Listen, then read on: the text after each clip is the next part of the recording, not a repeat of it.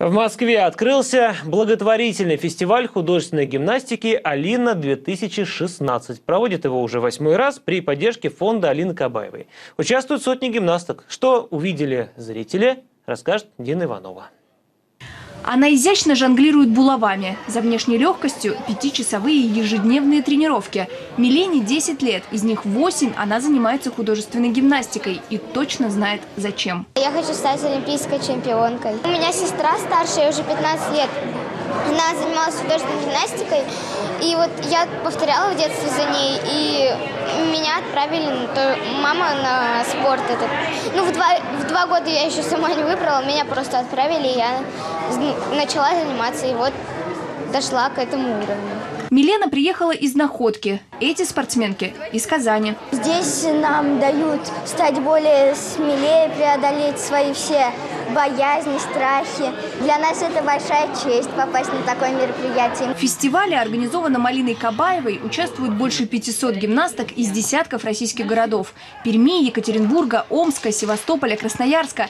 Здесь нет оценок, а значит нет проигравших. Только победители, чей приз – выступление на большой сцене концертного зала «Россия» перед тысячами зрителей. Здорово, что у нас есть такая площадка, что мы приглашаем детей, у нас есть такая возможность с разных регионов, и дети могут показать себя и привести детей бесплатно, и сделать им красивые купальники, костюмы, и накормить их, и, и расселить их. Это все берет на себя обязанности фонд. Они не волшебницы, только учатся.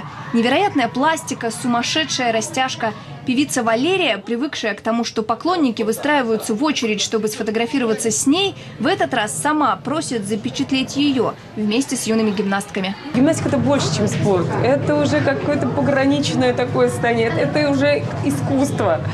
Эм, потому что жанр действительно очень такой синтетический эм, художественная гимнастика. Поэтому я смотрю на девочек и думаю, что, может быть, они э, получат какое-то дополнительное вдохновение, э, какой-то определенный опыт э, общения с такой огромной аудиторией. Популярные артисты на фестивале выступают бесплатно. Билеты на этот концерт не продавали.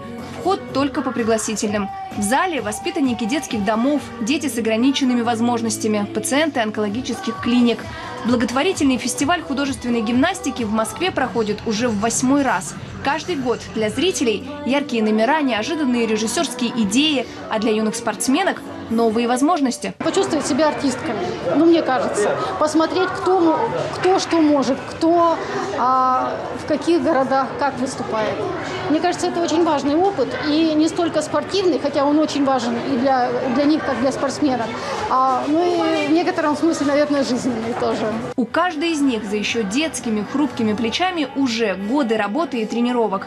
Но, возможно, именно это выступление для кого-то станет профессиональным трамплином – Среди зрителей знаменитый тренер, президент Всероссийской Федерации художественной гимнастики Ирина Винорусманова. А она будущих олимпийских чемпионок точно не пропустит. Дина Иванова и Филипп Дубровский. Вести.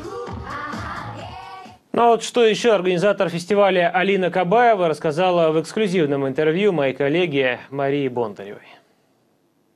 Очень много открывается школ, хороший есть материал, хорошие тренеры – Поэтому так и, как бы, и хорошо работает. А если есть даются результаты, глава города или губернатор города видят, что действительно девочки дают результаты и строятся им, кстати, спортивные комплексы, чем это тоже очень хорошо.